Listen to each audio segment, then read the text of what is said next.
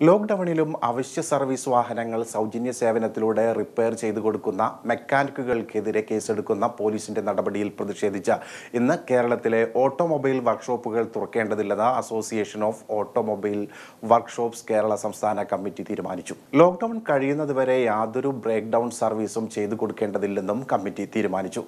സംസ്ഥാനത്തിന്റെ പല ഭാഗത്തും അവശ്യ സർവീസിനായി പോയ മെക്കാനിക്കുകളുടെ പേരിൽ വിവിധ വകുപ്പുകൾ പ്രകാരം കേസെടുക്കുന്ന നടപടിയുണ്ടായി. പോലീസ് ഡിപ്പാർട്ട്മെന്റിന്റെ വാഹനം പണിയാൻ പോയ തിരികെ പോകുന്ന മെക്കാനിക്കിനെതിരെ വരെ കേസ് ചാർജ് ചെയ്യുന്ന വിരോധാഭാസം അംഗീകരിക്കാനാകില്ല. ഇത്തരം നടപടിയിൽ പ്രതിഷേധിച്ചാണ് തീരുമാനമെന്ന് സംസ്ഥാന general secretary K G Gopakumar അറിയിച്ചു. എന്നാൽ കൊടുങ്ങല്ലൂരിലെയും വെള്ളാങ്കല്ലൂരിലെയും നാമമാത്ര വർക്ക്ഷോപ്പുകൾ തുറന്നു പ്രവർത്തിച്ചു.